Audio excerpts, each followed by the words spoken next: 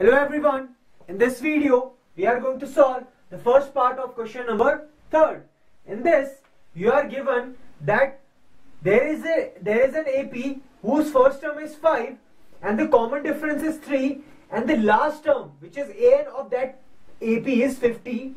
You have to find n means you have to find the number of terms in that AP and you have to find Sn means you have to find the sum of that AP. Now let's form first of all let's form that AP.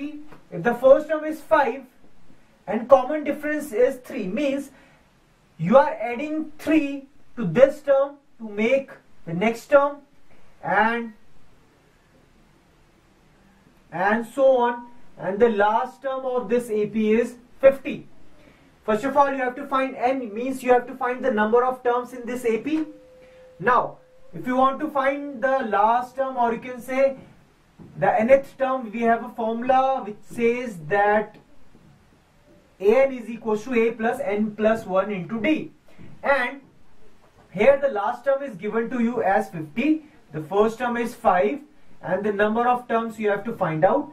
And here the common difference is 3 solving this we'll get the number of terms in this AP so this is 50 this is 5 opening this bracket this 3 will multiply with both with n as well as with 1 now these two are constants. These can be added. And the other terms will remain as it is.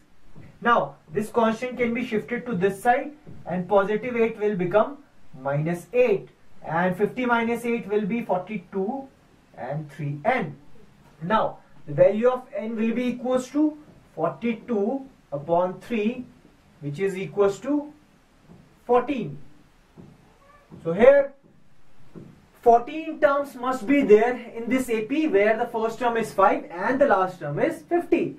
Now you have to find the sum of this AP. Now to find out the sum of an AP we have a formula which says the sum is equals to n by 2 2a plus and minus 1 into d. And there is another formula if we know the last term so we can also find the sum using this formula where A is the first term and L is the last term. This is same as this.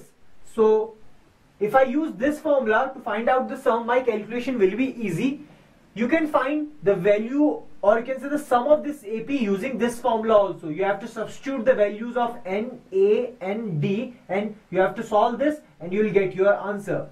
Now here the number of terms are 14 by 2 the first term is 5 and the last term is 50 so this will be equals to 7 and this is 55 so this is 7 5s are 35 and 7 5s are 35 plus 3 is 38 so the sum of this AP must be equals to 385 so this is how we can solve this first part if you like this video please subscribe to our channel and if you have any problem in maths, you can contact to us. The phone number and the email address is given below in the description.